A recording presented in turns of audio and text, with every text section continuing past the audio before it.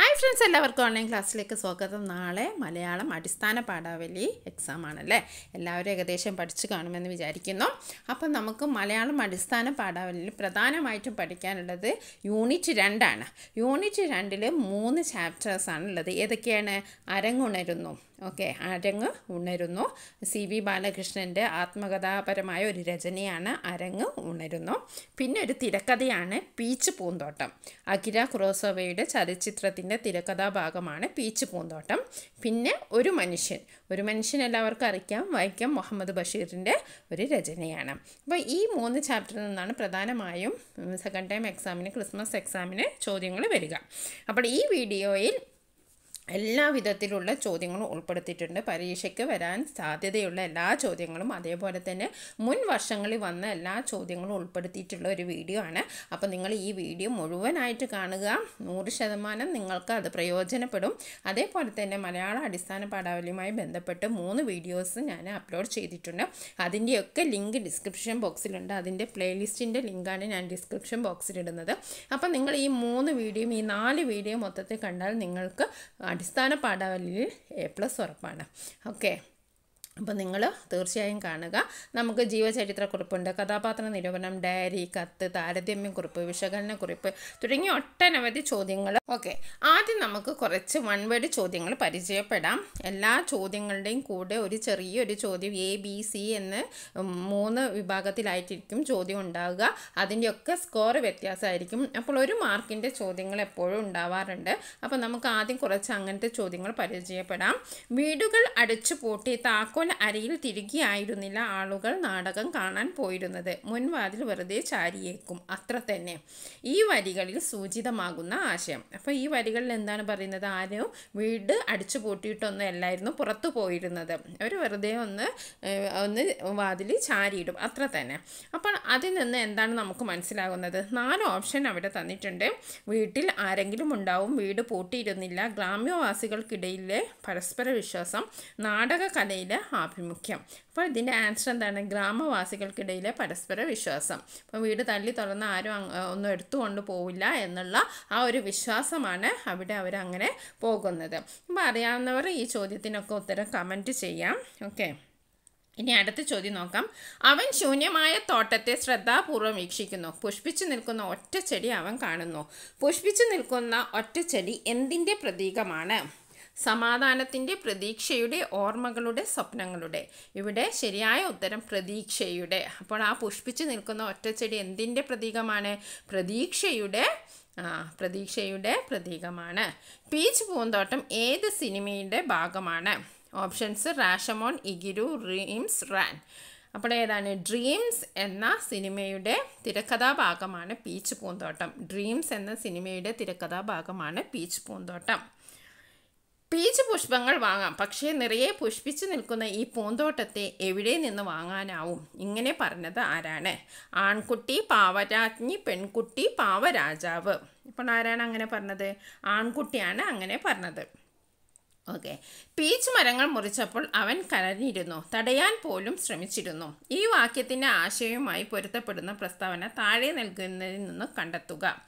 കുട്ടി ആ പൂന്തോട്ടത്തിൽ പോയി ഇരിക്കാം ഇരിക്കുമായിരുന്നു. പ്രകൃതിക്ക് നേരെ മുതിർന്നവർ ചെയ്യുന്ന ദ്രോഹം കുട്ടികളുടെ മനസ്സിനെ വേദനിപ്പിക്കുന്നു. കുട്ടിയാണ് ആ പൂന്തോട്ടം പരിപാലിച്ചിരുന്നത്. മരങ്ങൾ വെട്ടിക്കഴിഞ്ഞതിൽ കുട്ടിക്കുണ്ടായ നിര നിരാശ.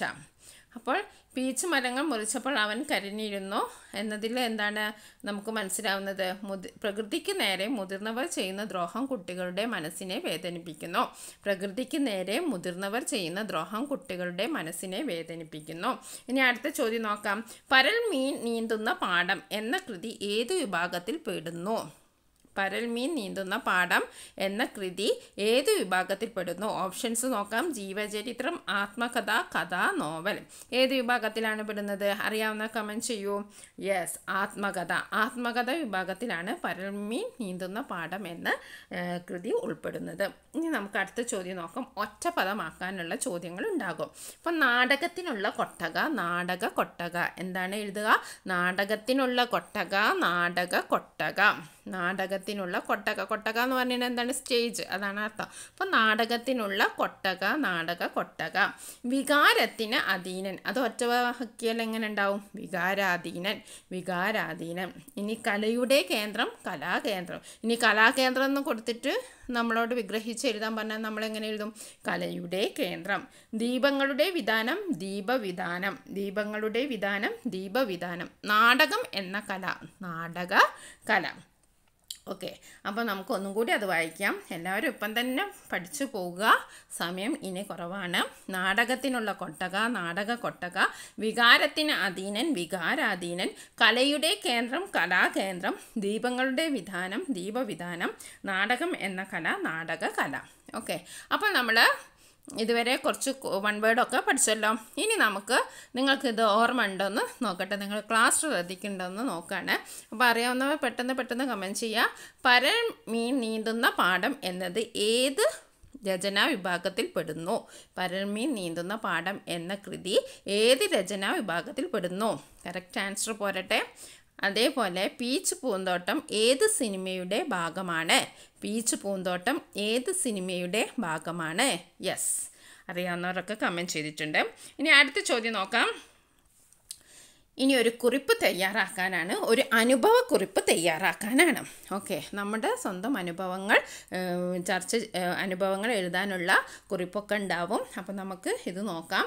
ഇത് ആത്മ അരങ്ങുണരുന്നു എന്ന പാഠഭാഗവുമായി ബന്ധപ്പെട്ട ചോദ്യമാണ്. ഇത് പ്രീവിയസ് ക്വസ്റ്റ്യൻ പേപ്പറാണ്. ഓക്കെ ഇഷ്ടപ്പെട്ട ഒരു കലാരൂപം കാണാൻ പോയ അനുഭവം നിങ്ങൾക്കും ഉണ്ടാകും. ഏതായിരുന്നു അത്? ആരൊക്കെയായിരുന്നു കൂടെ? എങ്ങനെയുണ്ടായിരുന്നു ആ അനുഭവം? എല്ലാം കൂടി ഒരു കുറിപ്പ് തയ്യാറാക്കുക. അപ്പം നമ്മളൊരു കലാരൂപം കാണാൻ പോയ അനുഭവമാണ് ഇവിടെ വിവരിക്കേണ്ടത്. അപ്പം നമുക്ക് എഴുതാം. പല പരിപാടികളും കണ്ടിട്ടുണ്ടെങ്കിലും എനിക്ക് മറക്കാൻ കഴിയാത്ത ഒരു കലാരൂപമാണ് മുടിയേറ്റ്. അപ്പം തന്നെ പഠിച്ചു പോവുക. പല പരിപാടി കണ്ടിട്ടുണ്ട്. പക്ഷേ മറക്കാൻ കഴിയാത്ത ഒരു കലാരൂപം ഏതാണ്? മുടിയേറ്റ്. സൂര്യാസ്തമനത്തിന് ശേഷം തുടങ്ങി സൂര്യോദയത്തിന് തൊട്ട് മുമ്പാണ് അവസാനിച്ചത്. സൂര്യാസ്തമനത്തിന് ശേഷം തുടങ്ങി സൂര്യ ഉദയത്തിന് മുമ്പ് തൊട്ട് മുമ്പാണ് അവസാനിച്ചത്. കാളിയുടെ ആട്ടമാണ് ഇതിലെ പ്രധാന ചടങ്ങ്. അപ്പം മുടിയേറ്റിലെ പ്രധാന ചടങ്ങ് എന്താണ്? കാളിയിലെ കാളിയുടെ ആട്ടമാണ്. ഇതിനായി ഒരുക്കിയ പ്രത്യേക പന്തലിൽ പഞ്ചവർണ പൊടി കൊണ്ടുള്ള കാളിയുടെ ചിത്രം വരയ്ക്കലോടെ പരിപാടിക്ക് തുടക്കം കുറിച്ചു. അപ്പോൾ എങ്ങനെയാണ് പരിപാടിക്ക് തുടക്കം കുറിച്ചത്? ആ പ്രത്യേകം ഒരുക്കിയ പന്തലിൽ പഞ്ചവർണ പൊടി കൊണ്ടുള്ള കാളിയുടെ ചിത്രം വരയ്ക്കും. അപ്പോൾ അതോടുകൂടിയാണ് ഈ മുടിയേറ്റ് എന്ന കലാരൂപത്തിന് തുടക്കം കുറിക്കുന്നത്. അത് അത് കഴിഞ്ഞ് മുടിയേറ്റ് ആരംഭിച്ചു. കത്തിച്ചു വെച്ച വിളക്കിന് മുമ്പിൽ ആട്ടവും അഭിനയവും കൊണ്ട് അരങ്ങ് കൊഴിപ്പിച്ചു. ഇതിൽ കഥകളിയേതുപോലെ ഉടുത്തുകെട്ടും കിരീടവും പല കഥാപാത്രങ്ങൾക്കുമുണ്ട് വീക്കുചെണ്ട ഉരുണ്ടുചെണ്ട ഇലത്താളം ചേങ്ങില തുടങ്ങിയ വാദ്യമേളങ്ങളുടെ അവതരിപ്പിച്ച ഈ അനുഷ്ഠാന നാടകം കാണാൻ കഴിഞ്ഞത് ഒരു വലിയ ജീവിതാനുഭവമായി ഞാൻ കാണുന്നു. അപ്പോൾ ഒന്നുകൂടി വായിക്കാം. പല പരിപാടികളും കണ്ടിട്ടുണ്ടെങ്കിലും എനിക്ക് മറക്കാൻ കഴിയാത്ത ഒരു കലാരൂപമാണ് മുടിയേറ്റ്. സൂര്യാസ്തമനത്തിന് ശേഷം തുടങ്ങി സൂര്യോദയത്തിന് തൊട്ട് മുമ്പാണ് അവസാനിച്ചത്. കാളിയുടെ ആട്ടമാണ് ഇതിലെ പ്രധാന ചടങ്ങ്. ഇതിനായി ഒരുക്കിയ പ്രത്യേക പന്തലിൽ പഞ്ചവർണ പൊടി കൊണ്ടുള്ള കാളിയുടെ ചിത്രം വരയ്ക്കലോടെ പരിപാടിക്ക് തുടക്കം കുറിച്ചു. അത് കഴിഞ്ഞ് മുടിയേറ്റ് ആരംഭിച്ചു. കത്തിച്ചു വെച്ച നിലവിളക്കിന് മുന്നിൽ ആട്ടവും അഭിനയവും കൊണ്ട് അരങ്ങ് കൊഴിപ്പിച്ചു. ഇതിൽ കഥകളിയിലേതുപോലെ ഉടുത്തുകെട്ടും കിരീടവും പല കഥാപാത്രങ്ങൾക്കും ഉണ്ട് വീക്കുചെണ്ട ഉരുണ്ടുചെണ്ട ഇലത്താളം ചേങ്ങില തുടങ്ങിയ വാദ്യമേളങ്ങളുടെ അവതരിപ്പിച്ച ഈ അനുഷ്ഠാന നാടകം കാണാൻ കഴിഞ്ഞത് ഒരു വലിയ ജീവിതാനുഭവമായി കാണുന്നു. അപ്പോൾ നമ്മളൊരു അനുഭവക്കുറിപ്പ് പഠിച്ചു. ഇനി അടുത്ത നമുക്ക് വേറൊരു അനുഭവക്കുറിപ്പാണ്. ഒരു മനുഷ്യൻ എന്ന കഥ പരിചയപ്പെട്ടുവല്ലോ. ബഷീർ തന്റെ ജീവിതത്തിലുണ്ടായ ഒരു അനുഭവത്തെയാണ് കഥയാക്കിയത്. നിങ്ങളുടെ ജീവിതത്തിലും പല അനുഭവങ്ങൾ ഉണ്ടായിട്ടുണ്ട്. നിങ്ങൾക്കുണ്ടായ ഏതെങ്കിലും ഒരു അനുഭവത്തെ അടിസ്ഥാനപ്പെടുത്തി അനുഭവക്കുറിപ്പ് തയ്യാറാക്കുക. അപ്പോൾ ബഷീറിന്റെ ഒരു അനുഭവം നമ്മൾ ഒരു മനുഷ്യൻ എന്ന കഥയൊക്കെ പരിചയപ്പെട്ടതാണ്. അതേപോലെ അനുഭവക്കുറിപ്പ് നിങ്ങൾ തയ്യാറാക്കാനാണ്. ഇത് ജസ്റ്റ് ഒരു മാതൃകയാണ്. ഇതിനെക്കാട്ടും മനോഹരമാകിലും മെച്ചപ്പെട്ടത് നിങ്ങൾ എഴുതുക. ഒരിക്കൽ ഒരു ട്രെയിൻ യാത്രക്കിടെയുണ്ടായ അനുഭവമാണ്. ഒരു സ്ത്രീ ശുചിമുറി പോകാൻ എന്ന് പറഞ്ഞ് അവരുടെ കുഞ്ഞിനെ എന്റെ കയ്യിൽ ഏൽപ്പിച്ചു. മറ്റാരും ഒപ്പം ഇല്ലെന്നും പറഞ്ഞു. ഞാൻ കുഞ്ഞിനെ വാങ്ങി ഏറെ നേരം കഴിഞ്ഞിട്ടും ആ സ്ത്രീ തിരികെ വന്നില്ല. സംഭവത്തിന്റെ ഗൗരവം മനസ്സിലാക്കി ഞാൻ റെയിൽവേ പോലീസിൽ വിവരം അറിയിച്ചു പോലീസ് തിരച്ചിൽ നടത്തി സ്ത്രീയെ കണ്ടെത്തി. മാനസിക രോഗിയായ ആ സ്ത്രീ കുട്ടിയുടെ അമ്മയാണെന്ന് കുട്ടിയെ ഉപേക്ഷിക്കാൻ നടത്തിയ ശ്രമമായിരുന്നു എന്നും പിന്നെയാണ് മനസ്സിലായത്. ഇനി അടുത്തത് പോസ്റ്റർ നിർമ്മാണമാണ്. സി വി ബാലകൃഷ്ണന്റെ അരങ്ങുണരുന്ന എന്ന പാഠഭാഗം പഠിച്ച നിങ്ങൾ സ്കൂളിൽ ഒരു നാടകം കളിക്കുവാൻ തീരുമാനിക്കുന്നു. റിഹേഴ്സൽ കഴിഞ്ഞ് നാടകം രംഗത്ത് അവതരിപ്പിക്കാൻ പോവുകയാണ്. നാടക കലാകാരൻ സോപാനം ജയകുമാറാണ് നാടകം ഉദ്ഘാടനം ചെയ്യുന്നത്. ജനുവരി പതിനഞ്ചിന് വൈകിട്ട് ആറു മണിക്ക് സ്കൂൾ ഓഡിറ്റോറിയത്തിലാണ് നാടകം അരങ്ങേറുന്നത്. ചടങ്ങിൽ പഞ്ചായത്ത് പ്രസിഡന്റ് അധ്യക്ഷത വഹിക്കും. കലാരംഗത്തെ മറ്റ് വിശിഷ്ടാദികളും ചടങ്ങിൽ പങ്കെടുക്കുന്നു. ഈ വിവരങ്ങൾ കൂടി പരിഗണിച്ച് ഈ പരിപാടിയുടെ ഒരു പോസ്റ്റർ തയ്യാറാക്കുക. അപ്പോൾ പരിപാടിയുടെ പോസ്റ്റർ തയ്യാറാക്കുമ്പോൾ നമ്മൾ വളരെ അട്രാക്റ്റീവ് ഫോമിലായിരിക്കണം തയ്യാറാക്കേണ്ടത്. ഓക്കെ. അപ്പോൾ ഇതൊരു ബോക്സിലാക്കണം. എന്താ ഇവിടെ ബോക്സിലാക്കിയിട്ടില്ല. അപ്പോൾ ഇതിലൊരു ബോക്സിലാക്കണം.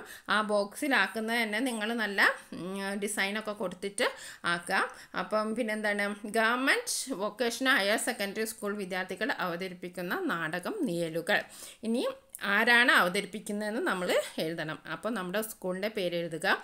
എന്നിട്ട് ഈ സ്കൂളിലെ വിദ്യാർത്ഥികൾ അവതരിപ്പിക്കുന്ന നാടകം. നമ്മൾ ഓരോ അനൗൺസ്മെന്റൊക്കെ സിനിമയിലൊക്കെ കണ്ടില്ലേ? കലാ തിയേറ്റേഴ്സ് അവതരിപ്പിക്കുന്ന നാടകം എന്നൊക്കെ പറഞ്ഞിട്ട് അതേപോലെ സ്കൂൾ വിദ്യാർത്ഥികൾ അവതരിപ്പിക്കുന്ന നാടകം. നാടകം എന്ന് പറഞ്ഞിട്ട് ആ നിഴലുകൾ താഴെത്താട്ടോ എഴുതേണ്ടത്. നിഴലുകൾ അടുത്ത സ്റ്റെപ്പിൽ എഴുതാം. അത് കുറച്ച് ബോൾഡൊക്കെ ആയിട്ട് നല്ല കളർഫുള്ളായിട്ട് എഴുതുക. ഈ നാടകത്തിന്റെ പേര്. പിന്നെ ഇനി നമ്മൾ അറിയേണ്ടത് എന്താണ് ഡേറ്റാണ് ഏത് സമയത്താണ് ഇത് നടക്കുന്നത്? ഏത് സ്ഥലത്ത് വെച്ചിട്ടാണ് നടക്കുന്നത്? ഇതിന്റെ ഉദ്ഘാടനം ആരാണ്? ഇതിന്റെ നാടകത്തിന്റെ ഡീറ്റെയിൽസ് ഒക്കെ നമ്മൾ എഴുതണം. അപ്പം ഇത് തന്നിട്ടില്ലെങ്കിൽ ചിലപ്പം ഡീറ്റെയിൽസ് ഒന്നും തന്നിട്ടില്ലെങ്കിൽ നമ്മൾ ഏതെങ്കിലും പേര് വെച്ചിട്ടൊക്കെ അങ്ങോട്ട് എഴുതാം. ഇനി ഡീറ്റെയിൽസ് തന്നിട്ടുണ്ടെങ്കിൽ നിങ്ങൾ അതേപോലെ എഴുതുക. ഇനി തന്നിട്ടില്ലെങ്കിൽ നിങ്ങൾക്ക് ഇഷ്ടമുള്ള പേരൊക്കെ വെച്ചിട്ട് നിങ്ങൾ എഴുതാൻ ശ്രമിക്കുക. അപ്പം നമ്മൾ എന്ത് എഴുതി? ആദ്യം നമ്മൾ ഇങ്ങനെ എഴുതി നാടകം നിഴലുകൾ എന്ന് എഴുതി പിന്നെ നമ്മൾ ഡേറ്റ് എഴുതണം. രണ്ടായിരത്തി ഇരുപത്തിരണ്ട് ജനുവരി പതിനഞ്ച് ആറ് മണി. അപ്പോൾ ഏതെങ്കിലും ഇഷ്ടപ്പെട്ട ഡേറ്റ് എഴുതാം. പിന്നെ സ്ഥലം എഴുതണം. സ്കൂൾ ഓഡിറ്റോറിയം പിന്നെ ഉദ്ഘാടകൻ ഇവിടെ ആരാന്നും ഇവിടെ തന്നിട്ടുണ്ട്. ഉദ്ഘാടകൻ നാടക കലാകാരൻ സോപാനൻ ജയകുമാറാണ് എന്ന്. തന്നിട്ടുണ്ട്. അപ്പം നമുക്ക് എന്ത് എഴുതാം? ഉദ്ഘാടകൻ സോപാനം ജയകുമാർ രചന ആരാ നടത്തിയത്? മോഹൻ കുമാർ സംവിധാനം വിജിലൻ. ആ ഡീറ്റെയിൽസൊക്കെ തന്നിട്ടുണ്ടെങ്കിൽ അതേ ഡീറ്റെയിൽസ് തന്നെ എഴുതുക. അല്ലെങ്കിൽ നമ്മുടെ ഏതെങ്കിലും ഒരു പേരൊക്കെ കൊടുത്ത് എഴുതുക. എന്നിട്ട് നല്ല ബോക്സിലാക്കുക ഓക്കെ.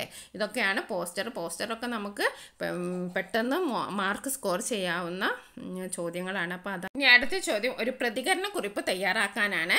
പീച്ച് പൂന്തോട്ടം എന്ന തിരക്കഥയിൽ മരങ്ങൾ വെട്ടി നശിപ്പിച്ചതിൽ വേദനിക്കുന്ന ഒരു കുട്ടിയെ നമുക്ക് കാണാം. അല്ലേ? പീച്ച് പൂന്തോട്ടം എന്ന തിരക്കഥ എന്തിനെ കുറിച്ചാണ് ആ മരങ്ങൾ വെട്ടി നശിപ്പിക്കുന്നതിൽ വേദനിക്കുന്ന ഒരു കുട്ടിയുടെ ഒരു അനുഭവമാണ് അതിൽ പറയുന്നത്. മനുഷ്യന്റെ ചെയ്തികളോട് പ്രകൃതിയുടെ പ്രതികരണം എന്തെന്നും നമുക്കതിൽ വായിക്കാൻ കഴിയും. ഈ കവിത നോക്കൂ. അപ്പം പ്രതികരണക്കുറിപ്പ് എന്ന് പറഞ്ഞിട്ടുണ്ടെങ്കിൽ നമ്മുടെ ചാപ്റ്ററുമായി ബന്ധപ്പെട്ട ഏതെങ്കിലും ഒരു ആശയമുള്ള ഒരു സംഭവമായിരിക്കും തരിക ഇവിടെ ഇപ്പം മുക്കുറ്റി ചെടി എന്ന ഒരു പദ്യമാണ് തന്നിരുന്നത്. നമുക്ക് അത് വായിച്ചു നോക്കാം. അപ്പം നമ്മൾ വായിക്കുമ്പോൾ നമ്മൾ ഗദ്യഭാഗം അതായത് പാസേജ് വായിക്കുന്ന പോലെ വായിക്കുക. അപ്പോൾ നമുക്ക് എന്തെങ്കിലുമൊക്കെ മനസ്സിലാവും. ഇപ്പം മുക്കുറ്റി ചെടി. മുക്കുറ്റി ചെടി ചോദിക്കുന്നു തരുമോ സ്വാതന്ത്ര്യം? ഒരു പൂവെങ്കിലും ആകാശത്ത് ഒരു പൂവെങ്കിലും ആകാശത്ത് വിടർത്തി നിർത്താനായി നിർത്താനായി നിങ്ങളുടെ ആകാം ആകാശം നിങ്ങളുടെ ആകാം മണ്ണും. പക്ഷേ ഒരു പൂവെങ്കിലും എന്റേതായി വിടർത്താൻ ഒരു മോഹം. അപ്പോൾ ഇങ്ങനെ വായിച്ചപ്പോൾ നിങ്ങൾക്ക് മനസ്സിലായല്ലോ ഇതെന്താണെന്ന്. അല്ലാണ്ട് നമ്മൾ പദ്യ രൂപത്തിൽ വായിക്കുമ്പോൾ നമുക്ക് മനസ്സിലാവില്ല. എന്താണ് ഇവിടെ നോക്കുന്നത്? തരുമോ സ്വാതന്ത്ര്യം? മുക്കുറ്റി ചെടി ചോദിക്കുകയാണ് എനിക്ക് സ്വാതന്ത്ര്യം തരുമോ എന്തിന്? ഒരു പൂവെങ്കിലും ആകാശത്തെ ആകാശത്ത് ഒരു പൂവെങ്കിലും വിടർത്തി നിർത്താനുള്ള സ്വാതന്ത്ര്യം എനിക്ക് തരുമോ? എന്നാണ് മുക്കുറ്റി ചെടി ചോദിക്കുന്നത്. അപ്പോൾ അത് മനസ്സിലായല്ലോ. അപ്പോൾ നമുക്ക് അതുമായി ബന്ധപ്പെട്ട് താരതമ്യക്കുറിപ്പ് പ്രതികരണക്കുറിപ്പ് തയ്യാറാക്കാം. പീച്ച് പൂന്തോട്ടം എന്ന തിരക്കഥയുടെ ആശയം കൂടി പരിഗണിച്ച് മുക്കുറ്റിച്ചെടി എന്ന കവിതയ്ക്ക് ഒരു പ്രതികരണക്കുറിപ്പ് തയ്യാറാക്കുക. ഇങ്ങനത്തെ പദ്യങ്ങളൊക്കെ വന്ന് താരതമ്യക്കുറിപ്പ് എഴുതാണ്ടാവും പ്രതികരണക്കുറിപ്പ് വിശകലനക്കുറിപ്പ് ഒക്കെ എഴുതാനുണ്ടാവും. അപ്പോൾ നിങ്ങൾ എന്താണ് ചെയ്യേണ്ടത്? നമ്മൾ സാധാരണ ഏതെങ്കിലും പാസേജ് വായിക്കുന്ന പോലെ അങ്ങോട്ട് എന്താണ് വായിക്കുക. അതായത് ഇവിടെ ഒറ്റപ്പെടുത്തി വായിക്കുക വേർതിരിച്ച് വായിക്കാം ഇവിടെ നോക്കൂ നിങ്ങളിവിടെ ഒരു പൂവെങ്കിലും ആകാശത്ത്. അതിനെ നമുക്ക് എങ്ങനെ വായിക്കും? ഒരു പൂവ് എങ്കിലും ആകാശത്ത് വിടർത്തി നിർത്താനായി. അപ്പോൾ അങ്ങനെ വായിക്കുക അപ്പോൾ സെപ്പറേറ്റ് ആയിട്ട് വായിക്കുമ്പോൾ നിങ്ങൾക്ക് എന്തെങ്കിലുമൊക്കെ പിടികിട്ടും. അപ്പോൾ ഇതിന്റെ ആൻസർ നമുക്ക് നോക്കാം. പരിസ്ഥിതിക്ക് മേൽ മനുഷ്യൻ നടത്തുന്ന ക്രൂരതകൾ. പൂക്കാനും തളിർക്കാനും എന്തിനും മുളയ്ക്കാനും പോലുമുള്ള അവകാശം ചെടികൾക്ക് നഷ്ടപ്പെടുത്തുന്നു. അപ്പോൾ പരിസ്ഥിതിക്ക് മേൽ മനുഷ്യൻ നടത്തുന്ന ക്രൂരതകൾ മൂലം ചെടികൾക്ക് പൂക്കാനും തളിർക്കാനും എന്തിനും മുളയ്ക്കാൻ പോലുമുള്ള അവകാശം പൂക്കൾക്ക് നഷ്ടപ്പെടുന്നു. പി. മധുസൂദനന്റെ കവിതയിൽ ഒരു പൂവെങ്കിലും വിടർത്താനുള്ള സ്വാതന്ത്ര്യം തരുമോ എന്ന് ചോദിക്കുന്ന മുക്കുറ്റി ചെടിയെ നാം കാണുന്നു. ആകാശത്തിന്റെയും മണ്ണിന്റെയും അധിപൻ താനാണെന്ന് അഹങ്കരിക്കുന്ന മനുഷ്യരോട് ഒരു കുഞ്ഞു ചെടി സ്വന്തമായി ഒരു പൂ വിടർത്താനുള്ള മോഹമെങ്കിലും സാധിച്ചു തരണമെന്ന് അഭ്യർത്ഥിക്കുകയാണ്. മനുഷ്യനും മറ്റ് സസ്യജന്തുജാലങ്ങളും ചേർന്നതാണ് പ്രകൃതി. കുഞ്ഞു ചെടിയാണെങ്കിലും ഇതിനുമുണ്ട് പ്രകൃതിയിൽ അതിന്റേതായ സ്ഥാനം. മനുഷ്യന്റെ കടന്നുകയറ്റങ്ങൾക്കെതിരെ പ്രതികരണമായി ഈ കവിത മാറുന്നു. അപ്പോൾ ഇതാണ് കവിത പ്രതികരണക്കുറിപ്പ്. അപ്പോൾ നിങ്ങൾക്ക് മനസ്സിലായി എന്ന് വിചാരിക്കുന്നു. ഇനി അടുത്ത നമുക്ക് ഡയറി കുറിപ്പ് എഴുതാം. അയാൾ എന്നെ വിളിച്ചു. ഞാൻ കൂടെ പോയി. എന്റെ നന്ദി അറിയിക്കാൻ വാക്കുകളുണ്ടോ? ഞാൻ പറഞ്ഞു അങ്ങ് ചെയ്തത് വലിയ കാര്യമാണ്. ഇത്ര നല്ല മനുഷ്യനെ ഞാൻ കണ്ടിട്ടില്ല. അയാൾ ചിരിച്ചു. പേരെന്താ? അയാൾ ചോദിച്ചു. ഞാൻ പേര് നാട് ഇതൊക്കെ പറഞ്ഞു. ഞാൻ ആ മനുഷ്യന്റെ പേര് ചോദിച്ചു. അദ്ദേഹം പറഞ്ഞു എനിക്ക് പേരില്ല. ഞാൻ പേഴ്സ് തുറന്നു നോക്കിയപ്പോൾ പണമെല്ലാം ഭദ്രമായി അതിലുണ്ട്.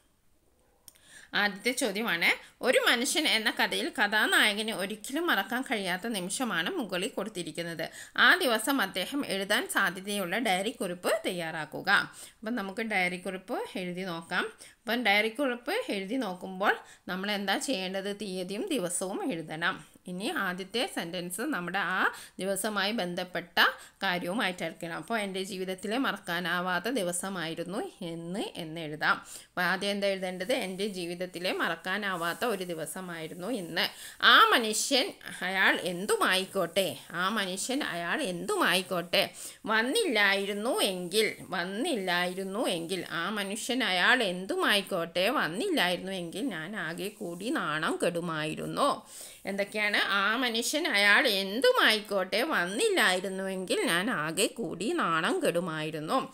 ആ ഹോട്ടൽ ഉടമ കണ്ണുകൾ ചൂന്നെടുത്ത് നഗ്നനാക്കി തെരുവിൽ തള്ളാനും മടിക്കില്ലായിരുന്നു. ആ ഹോട്ടൽ ഉടമ കണ്ണുകൾ ചൂഴ്ന്നെടുത്ത് നഗ്നനാക്കി തെരുവിൽ തള്ളാനും മടിക്കില്ലായിരുന്നു. എന്നെ സഹായിച്ച മനുഷ്യൻ പോക്കറ്റടിക്കാരനോ കൊലപാതകയോ കൊലപാതകിയോ ആയിക്കോട്ടെ. പക്ഷേ ഞാൻ അയാൾക്ക് ദൈവത്തിന്റെ സ്ഥാനമാണ് നൽകുന്നത്.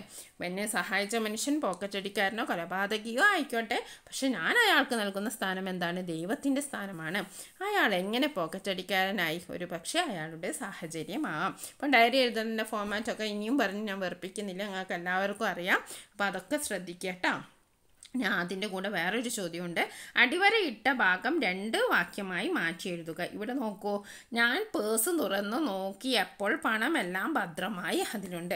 അപ്പോൾ അതിന് രണ്ട് വാക്യമായിട്ട് നമ്മൾ എഴുതണം. ഇവിടെ രണ്ട് വാക്കിനെയും ബന്ധിപ്പിച്ചിട്ടുള്ളൊരു സാധനം നടക്കുന്നുണ്ട്. അതേതാണ് അപ്പോളാണ്. അപ്പം നമുക്ക് അതൊന്ന് മാറ്റി നിർത്തിയിട്ട് നമുക്ക് നോക്കാം. ഞാൻ പേഴ്സ് തുറന്ന് നോക്കി. ഞാൻ പേഴ്സ് തുറന്ന് നോക്കി. അപ്പോൾ പണമെല്ലാം ഭദ്രമായി അതിലുണ്ട്. ഓക്കെ മനസ്സിലായല്ലോ? ഞാൻ പേഴ്സ് തുറന്നു നോക്കി. അപ്പോൾ പണമെല്ലാം ഭദ്രമായി അതിലുണ്ട്. അപ്പം ഇനി അടുത്ത ചോദ്യം നോക്കാം. പീച്ച് പൂന്തോട്ടം എന്ന സിനിമ നിങ്ങൾ കണ്ടിരിക്കുമല്ലോ. നിങ്ങളുടെ വിദ്യാലയത്തിലെ മുഴുവൻ കുട്ടികൾക്കുമായി ഈ സിനിമ പ്രദർശിപ്പിച്ചാലോ? പ്രദർശനവേദി സംവിധായകൻ സംഘാടകർ ആകർഷകമായ സീൻ സിനിമയുടെ പേര്. സമയം മുകളിൽ കൊടുത്തിരിക്കുന്ന സൂചനകൾ പരിഗണിച്ച് ഒരു പോസ്റ്റർ തയ്യാറാക്കുക. അപ്പോൾ ഈ പോസ്റ്ററിൽ ഇതൊക്കെ സൂചിപ്പിക്കണം എന്ന് പറഞ്ഞിട്ടുണ്ട്. പ്രദർശന വേദി വേണം. സംവിധായകൻ സംഘാടകർ ആകർഷകമായ സീൻ സിനിമയുടെ പേര് ഇവയൊക്കെ ഉൾക്കൊള്ളിക്കണം എന്ന് പ്രത്യേകം പറഞ്ഞിട്ടുണ്ട്. അപ്പോൾ നമുക്ക് അങ്ങനത്തെ ഒരു പോസ്റ്റ് തയ്യാറാക്കാം. ആദ്യം നമുക്കിതിങ്ങനെ ഒരു ഡിസൈനൊക്കെ കൊടുത്ത് ഒരു ബോക്സ് പോലെ ആക്കാം. പിന്നെ എന്താണ്? പീച്ച് പൂന്തോട്ടം. അപ്പോൾ അതിന്റെ രചനയൊക്കെ ആരാന്നൊക്കെ നമുക്കറിയണം. അല്ലേ? പീച്ച് പൂന്തോട്ടം അഖില കുറസോവയുടെ ഡ്രീംസ് എന്ന സിനിമ ഇലെ ഒരു സ്വപ്നം. ഇപ്പം ബീച്ച് പൂന്തോട്ടം അഖില കുറസോവയുടെ ഡ്രീംസ് എന്ന സിനിമയിലെ ഒരു സ്വപ്നം. സംഗീതം ഷിനിച്ചിറോ ഇക്കേബ്. സംഗീതം ആരാണ്? ഷിനി ചിറോ ഇക്കേബ്. സംഗീതം ഷിനി ചിറോ ഇക്കേബ്. ഛായാഗ്രഹണം തക്കാവോ സൈത്തോ മസാഹറു ഊദ. കുറച്ച് പണിയുള്ള പേരാണ്. അപ്പോൾ ഛായാഗ്രഹണം ആരാണ്? Takao Saito Masaharu Ueda editing Tome Minami. അത് കുറച്ച് എളുപ്പമായിട്ട് തോന്നുന്നുണ്ട്. എഡിറ്റിംഗ് തോമി മിനാമി അപ്പോൾ ആ അതിന്റെ ആൾക്കാരെ പേരൊക്കെ നമ്മൾ എഴുതി പീച്ച് പൂന്തോട്ടം എന്ന് ആദ്യം നല്ലവണ്ണം എഴുതി ഓക്കെ അഖില കുറോസോവ എഴുതി സംഗീതം ഛായാഗ്രഹണം എഡിറ്റിംഗ് എഴുതി. പിന്നെ ഇനി നമ്മൾ പ്രദർശന സമയം എഴുതണം സ്ഥലം എഴുതണം. പ്രദർശന സമയം പതിനാല് പതിനൊന്ന് രണ്ടായിരത്തി പത്തൊമ്പത് രണ്ടായിരത്തി ഇരുപത്തിരണ്ട് എന്ത് വേണമെങ്കിലും എഴുതാം. ത്രീ പി എം സ്ഥലം ഊന്നുകൾ ഗവൺമെന്റ് യൂബ്യൂസ്കിൽ സംഘാടകർ കലാസാഹിത്യ വേദി. അപ്പോൾ അതിൽ സൂചിപ്പിച്ച കാര്യങ്ങളൊക്കെ നമ്മൾ ഉൾപ്പെടുത്തിയിട്ടുണ്ട്. ഇങ്ങനെയാണ് ഒരു പോസ്റ്റർ തയ്യാറാക്കേണ്ടത്. ഇനി വേറൊരു പോസ്റ്റർ കൂടി നമ്മൾ പഠിക്കേണ്ടത് ഒരു പ്രീവിയസ് ക്വസ്റ്റ്യൻ പേപ്പറാണ് കേട്ടോ. ജനുവരി പത്തൊമ്പത് വൈക്കം മുഹമ്മദ് ബഷീറിന്റെ ജന്മദിനമാണല്ലോ. ഇതിന്റെ ഭാഗമായി ഭാഷാ ക്ലബിന്റെ ആഭിമുഖ്യത്തിൽ ഒരു മനുഷ്യൻ എന്ന ടെലിഫിലിം അമ്മ കൂട്ടായ്മയിൽ പ്രദർശിപ്പിക്കുന്നു. ഇതിന്റെ പ്രചാരണത്തിനായി ഒരു പോസ്റ്റർ തയ്യാറാക്കുക. ഓക്കെ. അപ്പോൾ ഇതിൽ തന്നെ ഈ ഒരു ചോദ്യത്തിൽ തന്നെ ഇതിന്റെ സമയം തന്നിട്ടുണ്ട്. പിന്നെ ഇതാരാ സംഘടിപ്പിക്കുന്നതെന്നൊക്കെ തന്നിട്ടുണ്ട് അല്ലേ? അപ്പോൾ നമുക്ക് അതുമായി ബന്ധപ്പെട്ട് ഒരു പോസ്റ്റ് തയ്യാറാക്കാം. ആദ്യം നമ്മൾ എന്താണ് ഒരു ബോക്സൊക്കെ വരച്ച് മനോഹരമാക്കണം. ബഷീറിന്റെ ജന്മദിനത്തോടനുബന്ധിച്ച് അമ്മ കൂട്ടായ്മയിൽ ഒരു മനുഷ്യൻ ടെലിഫിലിം. പ്രദർശനം ജനുവരി പത്തൊമ്പത് വൈകുന്നേരം നാല് മണിക്ക്. സ്ഥലം ലയൺസ് ക്ലബ് ഓഡിറ്റോറിയം കാരക്കുന്ന്. ഏവർക്കും സ്വാഗതം. അപ്പോൾ നമ്മളൊരു പോസ്റ്റർ തയ്യാറാക്കുക പറഞ്ഞിട്ടുണ്ടെങ്കിൽ ഒരു നാടകത്തിന്റെയോ അല്ലെങ്കിൽ ഒരു സിനിമയുടെയോ അപ്പോൾ ഇവിടെ നമ്മൾ എഴുതി ബഷീറിന്റെ ജന്മദിനത്തോടനുബന്ധിച്ച് അമ്മ കൂട്ടായ്മയിൽ ഒരു മനുഷ്യൻ ടെലിഫിലിം പ്രദർശനം സമയം എഴുതണം സ്ഥലവും എഴുതണം പിന്നെ ഏവർക്കും സ്വാഗതം എന്നും നമുക്ക് എഴുതാം. ഓക്കെ. ഇനി അടുത്തത് കഥാപാത്ര നിരൂപണമാണ്. ഞാൻ ആ മനുഷ്യന്റെ പേര് ചോദിച്ചു. അദ്ദേഹം പറഞ്ഞു എനിക്ക് പേരില്ല. ഞാൻ പറഞ്ഞു എങ്കിൽ ദേവ് എന്നായിരിക്കും പേര്. ഒരു മനുഷ്യൻ എന്ന കഥ ഓർമ്മയുണ്ടല്ലോ. അദ്ദേഹത്തിന് പണം കൊടുത്തയാൾ. ഈ കഥയിലെ സ്ഥാനം സ്വഭാവ സവിശേഷതകൾ മറ്റുള്ളവരോടുള്ള പെരുമാറ്റം ഇവ ഉൾപ്പെടുത്തിക്കൊണ്ട് കഥാപാത്ര നിരൂപണം തയ്യാറാക്കുക. അപ്പോൾ നമ്മൾ പോക്കറ്റടിക്കാരന്റെ കഥാപാത്ര നിരൂപണമാണ് തയ്യാറാക്കേണ്ടത്. അപ്പോൾ നമുക്ക് എഴുതാം. ഹൃദയത്തിൽ നന്മയുള്ള മനുഷ്യനാണ് പോക്കറ്റ് അടിക്കാരൻ. ഹൃദയത്തിൽ നന്മയുള്ള മനുഷ്യനാണ് പോക്കറ്റ് അടിക്കാരൻ. പോക്കറ്റ് അടിക്കപ്പെട്ട ആളിന്റെ ദയനീയ അവസ്ഥ കണ്ട് മനസ്സിൽ ദയ തോന്നി അയാൾ മോഷ്ടിച്ച പണം തിരികെ നൽകുന്നു. പോക്കറ്റ് അടിക്കപ്പെട്ട ആളിന്റെ ദയനീയ അവസ്ഥ കണ്ട് മനസ്സലിവ് തോന്നി അയാൾ മോഷ്ടിച്ച പണം തിരികെ നൽകുന്നു. ഹോട്ടൽക്കാരനേക്കാൾ മനുഷ്യത്വം അയാൾ കാണിക്കുന്നു. മോഷണം നടത്തുന്നവർ പലപ്പോഴും പണം നഷ്ടപ്പെട്ടവരുടെ അവസ്ഥയെക്കുറിച്ച് ചിന്തിക്കാറില്ല. ഇതിന് വിപരീതമായി പെരുമാറുന്ന ആളാണ് ഒരു മനുഷ്യൻ എന്ന കഥയിലെ പോക്കറ്റടിക്കാരൻ. അയാൾ പേര് പറയാതിരുന്നപ്പോൾ ദേവ് എന്നായിരിക്കും പേര് എന്ന് കഥാനായകൻ പറയുന്നത് അക്ഷരാർത്ഥത്തിൽ ശരിയാണ്. നന്മയും മനുഷ്യത്വവും മനസ്സിൽ നിന്ന് നഷ്ടപ്പെടുന്ന ഈ കാലത്ത് പോക്കറ്റടിക്കാരൻ വ്യത്യസ്തനായി മാറുന്നു. എത്ര ക്രൂരനും കൊള്ളരുതാത്തവനും ആണെങ്കിലും ഏതൊരാളിലും നന്മയുടെ അംശമുണ്ടാകും. പ്രതികൂല സാഹചര്യത്തിൽ പെട്ടുപോയ കഥാനായകനോട് ദയയോടെ പെരുമാറുന്ന ഒരു മനുഷ്യനെയാണ് പോക്കറ്റടിക്കാരനിൽ നാം കാണുന്നത്. സമൂഹം മാറ്റി നിർത്തുന്നവരിൽ പോലും നന്മയുടെ അംശമുണ്ടെന്ന് നമുക്ക് ഈ കഥയിലൂടെ മനസ്സിലാകുന്നു. പ്രതിസന്ധി ഘട്ടത്തിൽ കഥാനായകനെ രക്ഷിക്കാനായി എത്തുന്നത് അതാരായാലും എത്ര ദുഷ്ടനോ കള്ളനോ ക്രൂരനോ ആയാൽ പോലും അയാൾ ദയവ് എന്നാണ് അയാൾ ദയവ് എന്നാണ് കഥാനായകന് അനുഭവപ്പെടുന്നത്. അപ്പം കഥാപാത്ര നിരൂപണം നമ്മൾ പല വീഡിയോസിലായിട്ട് ചർച്ച ചെയ്തിട്ടുണ്ട്. അതുകൊണ്ട് കൂടുതൽ വിശദീകരിക്കുന്നില്ല. അടുത്തൊരു പ്രീവിയസ് ക്വസ്റ്റ്യൻ പേപ്പറാണ് പുരാണ നാടകം സാമൂഹിക നാടകം ദേശക്കാർ മുഴുവൻ അരങ്ങിൽ ഒത്തുകൂടും. വീടുകൾ അടിച്ചു പൂട്ടി താക്കോൽ അരങ്ങിത്തിരിക്കുകയായിരുന്നില്ല ആളുകൾ നാടകം കാണാൻ പോയിരുന്നത്. മുൻവാതിൽ വെറുതെ ചാരിയേക്കും. അത്ര തന്നെ. അപ്പോൾ ആദ്യത്തെ ചോദ്യം ദേശക്കൂട്ടായ്മയും നാടകാവതരണമെല്ലാം അരങ്ങുണരുന്നു എന്ന പാഠഭാഗത്തു നിന്ന് നിങ്ങൾ മനസ്സിലാക്കിയല്ലോ. ഇക്കാലത്ത് ഇത്തരം കൂട്ടായ്മകളുണ്ടോ? നിങ്ങളുടെ അഭിപ്രായം ഒരു കുറിപ്പായി എഴുതുക. അപ്പോൾ അഭിപ്രായ കുറിപ്പ് എഴുതാനാണ്. പിന്നെ ബി ക്വസ്റ്റ്യൻ ഉണ്ട്. നാടകത്തിനുള്ള കൊട കൊട്ടക നാടക കൊട്ടകം ഇതുപോലെ വികാരത്തിന് അധീനൻ എന്ന് എങ്ങനെ മാറ്റിയെഴുതാം? അപ്പം വികാരാധീനൻ ഇത് നമ്മൾ ആദ്യം ഡിസ്കസ് ചെയ്തിട്ടുണ്ട്. കുറേ കാര്യങ്ങൾ ഡിസ്കസ് ചെയ്തിട്ടുണ്ട്. കുറേ വേർഡ്സ് നമ്മൾ അങ്ങനത്തെ ഡിസ്കസ് ചെയ്തിട്ടുണ്ട്. അപ്പം നമുക്ക് ഈ അഭിപ്രായക്കുറിപ്പ് ഒന്ന് നോക്കാം. ഇന്ന് ചോദ്യം എന്താണ്? ഇന്ന് ഇങ്ങനത്തെ ദേശ കൂട്ടായ്മയും അതേപോലെ തന്നെ നാടക അവതരണവും ഒക്കെ ഇന്ന് നടക്കുന്നുണ്ടോ എന്നാണ് ആ ചോദ്യത്തിന്റെ അർത്ഥം. നമുക്കിന്ന് നടക്കുന്നുണ്ടോ? ഇല്ല. മുൻകാലങ്ങളിൽ നാട്ടിൻപുറങ്ങളിലുള്ള ആപാലവൃദ്ധം ജനങ്ങൾ നാടകം പോലുള്ള കലാരൂപങ്ങൾ കാണാൻ പോവാറുണ്ടായിരുന്നു. പണ്ടൊക്കെ എല്ലാവരും നാടകം കാണാനൊക്കെ പോകുമായിരുന്നു. അവരുടെ ജീവിത സംസ്കാരത്തിന്റെ ഭാഗമായിരുന്നു അത്തരം കൂട്ടായ്മകളും കലകളോടുള്ള ആഭിമുഖ്യവും. ഇന്നാവട്ടെ അവ പാടെ മാറിക്കഴിഞ്ഞു. ജനകീയ കൂട്ടായ്മകളും കലാരൂപങ്ങളും മിക്കവാറും കമ്പോളത്തിന്റെ പിടിയിലുമായി. കച്ചവട കണ്ണോടെയുള്ള ആഘോഷങ്ങളും മേളകളുമാണ് മിക്കവാറും അരങ്ങേറുന്നത്.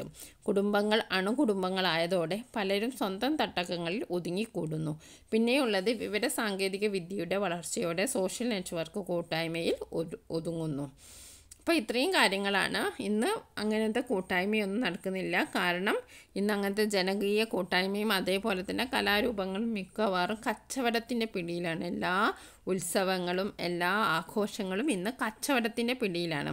അപ്പം കച്ചവട കണ്ണോട് കൂടിയുള്ള ആഘോഷങ്ങളും മേളകളും നമ്മൾ ഏത് സ്ഥലത്ത് പോയാലും ഒരു ആഘോഷമുണ്ടെങ്കിൽ അവിടെ എന്തെങ്കിലും കച്ചവട കണ്ണും ഉണ്ടാവും.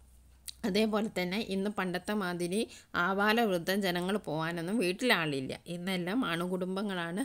പണ്ടാച്ചാൽ വീട്ടിൽ മുത്തശ്ശിമാരുണ്ടാവും മുത്തശ്ശൻ വയസ്സായ പ്രായമായിട്ടുള്ള ആളുകളുണ്ടാവും. അങ്ങനെ എല്ലാവരും കൂടി ഒത്തുചേർന്ന് പോവുക എന്നൊക്കെ പണ്ടത്തെ ഒരു പതിവായിരുന്നു. പക്ഷേ ഇന്ന് അതില്ല.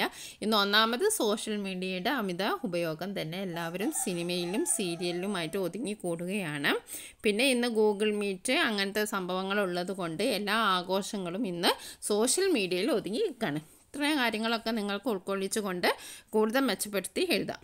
ഓക്കെ ഇനി അടുത്ത കത്ത്. ഒരു ചങ്ങാതിയോടൊപ്പം പിറ്റേന്നും നാടകം കാണാൻ പോയി. പക്ഷേ നാടക സംഘത്തിൽപ്പെട്ട ആരോ ജല ജനലിനെ കൊളുത്ത് ഉറപ്പിച്ചിരുന്നു. അതുകൊണ്ട് നാടകം കാണാൻ കഴിഞ്ഞില്ല. അരങ്ങുണരുന്നു. എന്ന പാഠഭാഗവുമായി ബന്ധപ്പെട്ട ഒരു ചോദ്യമാണ്. ഈ കാര്യങ്ങൾ ഉൾപ്പെടുത്തി ലേഖകൻ സുഹൃത്തിന് എഴുതുന്ന കത്ത് സങ്കല്പിച്ച് എഴുതുക. അപ്പോൾ നാടകം കാണാൻ ആദ്യത്തെ ദിവസം പൈസ ഇല്ലാത്തതിനാൽ ജനലിന്റെ കൊളുത്തുകൂടെ അങ്ങനെ പോയി. പക്ഷെ പിറ്റേ ദിവസം പോയപ്പോൾ നടന്നില്ല. അപ്പോൾ അതിനെക്കുറിച്ച് ഫ്രണ്ടിനൊരു കത്ത് എഴുതുകയാണ്. അപ്പം നമ്മളറിയാലോ കത്തെഴുതുന്ന ഫോർമാറ്റൊക്കെ അറിയാലോ എല്ലാവർക്കും. സ്ഥലവും തീയതിയും എഴുതണം സ്ഥലവും തീയതിയും എഴുതണം. പിന്നെന്താ എഴുതാം? പ്രിയപ്പെട്ട അരുൺ പ്രിയപ്പെട്ട അരുൺ ഏറ്റവും സന്തോഷം നിറഞ്ഞ ദിവസങ്ങളായിരുന്നു ഈ ഒരാഴ്ചക്കാലം പുറത്തു നിന്ന് ഒരു നാടക സംഘം നാട്ടിലെത്തിയിരുന്നു. ഓരോ ദിവസവും ഓരോ നാടകം ഓരോ ദിവസവും ഓരോ നാടകം. യു പി സ്കൂളിന്റെ വടക്കേ ഹാളിലായിരുന്നു നാടക കൊട്ടക നാലെണ്ണം ടിക്കറ്റ്. അതിന് പാങ്ങില്ലെന്ന് നിനക്കറിയാലോ? കൊളുത്തില്ലാത്ത ഒരു ജനൽ പഴുതിലൂടെ ഞാനും കുറച്ച് കൂട്ടുകാരും അകത്ത് കയറി നാടകം കണ്ടു. ശ്രീരാമനും സീതയും ഹനുമാനും എല്ലാം തകർത്ത് അഭിനയിച്ചു. ചരിത്ര നാടകമായിരുന്നു അത് കാണാനുള്ള ആവേശത്തിൽ ചെന്നതാണ്. പക്ഷെ ആരോ ജനലിനെ കൊളുത്ത് പിടിപ്പിച്ചിരുന്നു. അങ്ങനെ ആ മോഹം പൊലിഞ്ഞു. കാശുണ്ടായിരുന്നു എങ്കിൽ എനിക്കും ആ നാടകം കാണാമായിരുന്നു. അതിന് കഴിഞ്ഞില്ലല്ലോ എന്നോർത്ത് സങ്കടം തോന്നി. ഈ വിശേഷങ്ങളൊക്കെ നിന്നെ അറിയിക്കാനാണ് ഇപ്പോൾ എഴുതിയത്. മറ്റു വിശേഷങ്ങളൊന്നുമില്ല. നിന്റെ മറുപടി പ്രതീക്ഷിക്കുന്നു. സ്നേഹപൂർവം ബാലു. അപ്പം കത്ത് ഒരു സിമ്പിൾ കത്താണ്. ഇങ്ങനത്തെയൊക്കെ കത്ത് എഴുതിയാൽ കുറേ കാര്യങ്ങൾ നിങ്ങൾ സങ്കല്പിച്ച് അങ്ങോട്ട് എഴുതണം. ഓക്കെ. അപ്പോൾ വീണ്ടും വായിക്കുന്നില്ല. അപ്പം നിങ്ങൾ അതൊക്കെ ഒന്ന് നോക്കുക. സ്നേഹപൂർവം ബാലു. ഇനി അടുത്ത ചോദ്യം എന്താണ്? പരന്മീൻ നീന്തുന്ന പാഠം എന്ന കൃതി ആരുടേതാണ്? സി വി ബാലകൃഷ്ണന്റേതാണ് പരന്മീൻ നീന്തുന്ന പാഠം എന്ന കൃതി. ഓക്കെ. ഇനി അത് ഏത് രചനാ വിഭാഗത്തെ ആത്മകഥ രചനാ വിഭാഗത്തിൽ പെടുന്നതാണ്? ഇനി അടുത്തത് സൂചനകളെല്ലാം ഉൾപ്പെടുത്തി വൈക്കം മുഹമ്മദ് ബഷീറിന്റെ ജീവചരിത്രക്കുറിപ്പ് തയ്യാറാക്കുക. ഇതൊരു പ്രീവിയസ് ക്വസ്റ്റ്യൻ പേപ്പറാണ് അപ്പം ജനനം ആയിരത്തി തൊള്ളായിരത്തി എട്ട് ജനുവരി ഇരുപത്തൊന്ന് മരണം ആയിരത്തി തൊള്ളായിരത്തി തൊണ്ണൂറ്റി നാല് ജൂലൈ അഞ്ച്. കൃതികൾ ഭൂമിയുടെ അവകാശികൾ പൂവമ്പഴം ആനപ്പൂട ബാല്യകാല സഖി പാത്തുമ്മയുടെ ആട് ഏറ്റവും അധികം വായിക്കപ്പെട്ട എഴുത്തുകാരിൽ ഒരാൾ ബേപ്പൂർ സുൽത്താൻ. തമാശയിൽ പൊതിഞ്ഞ പരിഹാസം നോവലിസ്റ്റ് കഥാകൃത്ത് സ്വാതന്ത്ര്യ സമര സേനാനി പുല്ലുകളും മരങ്ങളും ജീവികളുമെല്ലാം കൂട്ടുകാർ. അവാർഡുകൾ പത്മശ്രീ കേരള സാഹിത്യ അക്കാദമി അവാർഡ് ലളിതാംബിക അന്തർജനം അവാർഡ് വള്ളത്തോൾ പുരസ്കാരം. ഓക്കെ. അപ്പോൾ വൈക്കം മുഹമ്മദ് ബഷീർ എന്ന ടൈറ്റിലായിട്ട് എഴുതുക നടുവിലായിട്ട് എഴുതുക കുറച്ച് ബോൾഡൊക്കെ ചെയ്ത് എഴുതുക. മലയാളത്തിലെ പ്രമുഖ കഥാകൃത്തും നോവലിസ്റ്റുമായ വൈക്കം മുഹമ്മദ് ബഷീർ ബേപ്പൂർ സുൽത്താൻ എന്നറിയപ്പെടുന്നു. അതേപോലെ തന്നെ ഈ ഒരു പോയിന്റും ഇവിടെ എഴുതാൻ വിട്ടുപോയിട്ടുണ്ട്. ഏറ്റവും അധികം വായിക്കപ്പെട്ട എഴുത്തുകാരിൽ ഒരാളാണ് ബേപ്പൂർ സുൽത്താൻ. ഓക്കെ ഏറ്റവും അധികം വായിക്കപ്പെട്ട ഒരാളാണ് വൈക്കം മുഹമ്മദ് ബഷീർ ആയിരത്തി തൊള്ളായിരത്തി ജനുവരി ഇരുപത്തൊന്നിന് വൈക്കത്തിനടുത്തുള്ള തലയോല പറമ്പിൽ ജനിച്ചു. ആയിരത്തി തൊള്ളായിരത്തി എട്ട് ജനുവരി ഇരുപത്തൊന്നിന് വൈക്കത്തിനടുത്തുള്ള തലയോല പറമ്പിൽ ജനിച്ചു. സ്വാതന്ത്ര്യ സമരത്തിൽ പങ്കെടുത്ത് ജയിൽവാസം അനുഭവിച്ചു. അദ്ദേഹം വർഷങ്ങളോളം ഇന്ത്യയിലെമ്പാടും ചുറ്റി സഞ്ചരിച്ചു ജീവിതാനുഭവങ്ങളെ അടിസ്ഥാനമാക്കിയുള്ളതാണ് അദ്ദേഹത്തിന്റെ രചനകളെല്ലാം. സർവ ജീവജാലങ്ങളെയും അദ്ദേഹം ഭൂമിയുടെ അവകാശികളായി കണ്ടു. സർവ ജീവജല ജീവജാലങ്ങളെയും അദ്ദേഹം ഭൂമിയുടെ അവകാശികളായി കണ്ടു. പ്രേമലേഖനം ബാല്യകാല സഖി ഇന്റെ പൂപ്പാക്ക ഒരു ആന ഉണ്ടായിരുന്നു ആനവാരിയും പൊൻകരിശും പാത്തുമ്മയുടെ ആട് മതിലുകൾ മുച്ചിട്ടു കളിക്കാന്റെ മകൾ ശബ്ദങ്ങൾ വിശ്വവിഖ്യാതമായ മൂക്ക് ഭൂമിയുടെ അവകാശികൾ ആനപ്പട പൂവൻ പഴം തുടങ്ങിയവയാണ് പ്രധാന കൃതികൾ. ഇതൊക്കെ അതിൽ നൽകിയിട്ടുണ്ടാവും കേട്ടോ അപ്പോൾ നിങ്ങളിങ്ങനെ വാക്കുകൾ യോജിപ്പിച്ച് എഴുതിയേ വേണ്ടു. പ്രധാനപ്പെട്ട എല്ലാ ഇന്ത്യൻ ഭാഷകളിലേക്കും വിദേശ ഭാഷകളിലേക്കും അദ്ദേഹത്തിന്റെ കൃതികൾ വിവർത്തനം ചെയ്യപ്പെട്ടിട്ടുണ്ട്. പത്മശ്രീ വള്ളത്തോൾ പുരസ്കാരം പ്രേംനാഥ് സിർ അവാർഡ് കേന്ദ്രം കേരള സാഹിത്യ അക്കാദമി അവാർഡുകൾ ലളിതാംബിക അന്തർജനം അവാർഡ് നിരവധി പുരസ്കാരങ്ങൾ ലഭിച്ചിട്ടുണ്ട്. ആയിരത്തി തൊള്ളായിരത്തി തൊണ്ണൂറ്റിനാല് ജൂലൈ അഞ്ചിന് അന്തരിച്ചു. അപ്പം ജീവചരിത്ര കുറിപ്പിലൊന്നും ആരും ഒരു മാർക്ക് പോലും മിസ്സാക്കരുതിട്ട് ഫുൾ മാർക്ക് തന്നെ മേടിക്കണം. ഇനി അടുത്ത അതുമായി ബന്ധപ്പെട്ടൊരു ചെറിയ ചോദ്യമാണ് ഒരു മാർക്കിനുള്ള ചോദ്യമാണ്. ഞാൻ പകൽ നാല് മണിക്ക് ഉണരൂ കഥാകൃത്ത് വൈകി ഉണരാൻ കാരണമെന്ത്? ചായയും ഊണും ലാഭിക്കാൻ ക്ഷീണം കൊണ്ട് രാത്രി ഉറക്കം വഹിച്ചതിന്. അപ്പോൾ എന്തുകൊണ്ടാണ് നാല് മണിക്ക് നിൽക്കുന്നത് ആ ചായ ഊണോ ഒന്നിച്ച് ചായയും ഊണും ലാഭിക്കാനാണ് കേട്ടോ ഇനി അടുത്തത് ഇതിലെവിടെ ചിലവാക്കാൻ ഉദ്ദേശിക്കല്ലേ? പണം വെച്ചിട്ട് പോ. നിന്റെ കണ്ണ് ഞാൻ ചൂന്നെടുക്കും. ഇതിൽ ഹോട്ടൽക്കാരന്റെ ഏത് സ്വഭാവമാണ് പ്രകടമാകുന്നത്? അപ്പം പൈസ ഇല്ല എന്ന് പറഞ്ഞപ്പോൾ ഇത് ഇവിടെ ചിലവാക്കുമൊന്നും ഇല്ല പണം വെച്ചിട്ട് പോ. നിന്റെ കണ്ണ്. അപ്പോൾ ഇത് ഇന്ന് ഏത്? സ്നേഹമാണോ ക്രൂരത ആണോ ദയാണോ? അപ്പം ക്രൂരതയാണ് ഇവിടെ. നമുക്ക് പ്രകടമാകുന്നത് ക്രൂരതയാണ്. ഓക്കെ. ഇന്നലെ ആയിട്ടുള്ള വീഡിയോയിൽ ഇന്നലെ ഞാൻ ഒരു അടിസ്ഥാന പാഠാവലി ഇമ്പോർട്ടന്റ് ചോദ്യോത്തരങ്ങൾ അപ്ലോഡ് ചെയ്തിട്ടുണ്ട്. അപ്പോൾ ഈ രണ്ട് വീഡിയോകളിലായിട്ട് ഒരുപാട് എല്ലാ ഭാഗങ്ങളും കവർ ചെയ്തിട്ടുണ്ട്. കൂടാതെ പ്രീവിയസ് ക്വസ്റ്റ്യൻ പേപ്പറും ഡിസ്കസ് ചെയ്തിട്ടുണ്ട്. അപ്പോൾ ഇതെല്ലാം നിങ്ങൾ എന്തായാലും നോക്കണം. നല്ല മാർക്ക് തന്നെ എല്ലാവർക്കും കിട്ടും. അതേപോലെ അഖില കുറോസോവയുടെ ജീവചരിത്ര കുറിപ്പ് ഒരു മനുഷ്യൻ എന്ന ശീർഷകം കഥയ്ക്ക് എത്രമാത്രം യോജിക്കുന്നു? ഇതൊക്കെ ഇമ്പോർട്ടന്റ് ചോദ്യങ്ങളാണ്. പിന്നെ ഡയറി കുറിപ്പ്. ഡയറി കുറിപ്പ് രവിവർമ്മ കലാനിലയത്തിന്റെ ആദ്യ നാടകം യു പി സ്കൂളിന്റെ വടക്കേ ഹാളിൽ അരങ്ങേറുന്നു. കുട്ടികളായ ലേഖകനും സുഹൃത്തുക്കളും ടിക്കറ്റ് എടുക്കാൻ കഴിവില്ലാത്തതിനെ കയറിയത് കൊളുത്തില്ലാത്ത ഒരു ജനപ്രതിരാന്ന് ലേഖകൻ എഴുതാനിടയുള്ള ഡയറി കുറിപ്പ്. അപ്പോൾ അത് എഴുതുക പിന്നെ ഒരു വിശകലന കുറിപ്പ്. അത് പീച്ച് പൂന്തോട്ടം അടിസ്ഥാനമാക്കിയിട്ടുള്ള വിശകലന കുറിപ്പാണ്. മനുഷ്യൻ പ്രകൃതിക്ക് മേൽ നടക്കുന്ന അതിരുകവിന്റെ കടന്നുകയറ്റം. അത് മനുഷ്യന് തന്നെ വിനയായി മാറുന്ന കാഴ്ച. പിന്നെ നമ്മുടെ ഇവിടെ പ്രകൃതി ചൂഷണത്തിന് എതിരെ നടക്കുന്ന ഒരു സംഭവത്തിനെതിരെ ഒരു നിവേദനം കൊടുക്കുക. അപ്പോൾ നിവേദനം തയ്യാറാക്കുന്ന ഇതൊക്കെ നമ്മൾ ഇന്നലെ ഡിസ്കസ് ചെയ്തതാണ്.